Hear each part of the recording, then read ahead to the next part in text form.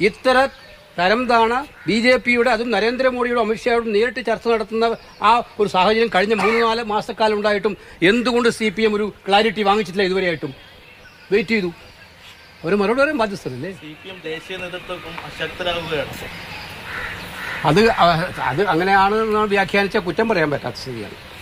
ഇന്നലെ കഴിഞ്ഞ ദിവസം ലോക്സഭയിൽ ഉണ്ടായിട്ടില്ല ഏറ്റവും സങ്കടകരമായ കാര്യം അതിനെക്കുറിച്ചാണ് എനിക്ക് പറയാനുള്ളത്. ബി ജെ പിയുടെ ഉത്തരവാദപ്പെട്ട ഒരു മെമ്പർ ഇന്ത്യൻ ജനാധിപത്യത്തിന്റെ ഏറ്റവും പരമോന്നത ശ്രീകോവിൽ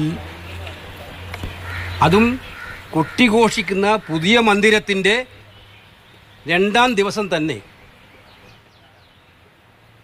വിഷം ചീറ്റുന്ന വിഷം എന്ന് പറഞ്ഞാൽ പോലും അത് ശരിയാ വേടല്ല. വിഷം ചീറ്റുന്ന പ്രസ്താവനയായി വന്ന് പാർലമെന്റ് മന്ദിരം തന്നെ മലീമസമാക്കിയ സാഹചര്യത്തെ